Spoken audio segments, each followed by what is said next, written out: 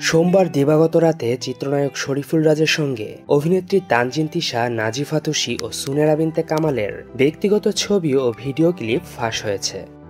আর এসব ভিডিও সামাজিক যোগাযোগ মাধ্যমে দ্রুত ছড়িয়ে পড়ে। যদিও ঘণ্টাখানেক পরপরই সেগুলো মুছে দেওয়া হয়। তবে গত দুদিন এমন ঘটনায় তোলপাড় ছিল ছবি জঙ্গল। আর এসব ঘটনার জন্য পরিমণিকে দোষারোপ করেছেন সুনেরা। তবে অভিযোগ অস্বীকার করে বিস্ফোরক মন্তব্য করেছেন পরিমণি। জানিয়েছেন, দশ দিন ধরে রাজও তিনি আলাদা। বিষয়টি খোলাসা করতে গিয়ে পরিমণি বলেন, রাজ গত দশ দিন থেকে আমার সঙ্গে নেই।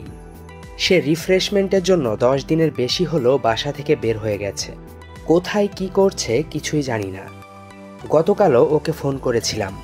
সে ফোন কেটে বন্ধ করে দিয়েছে। এখন কোথায়, কার সঙ্গে কি করছে, সে দায় কেন আমার ওপর আসবে? কেন থাকছেন না? এর জবাবে অভিনেত্রী বলেন, স্বামী স্ত্রীর মধ্যে কত কিছুই তো হয়, তবে বাসা থেকে বের হওয়ার মতো তো কিছুই হয়নি, অথচ রাজ বাসায় নেই কতদিন।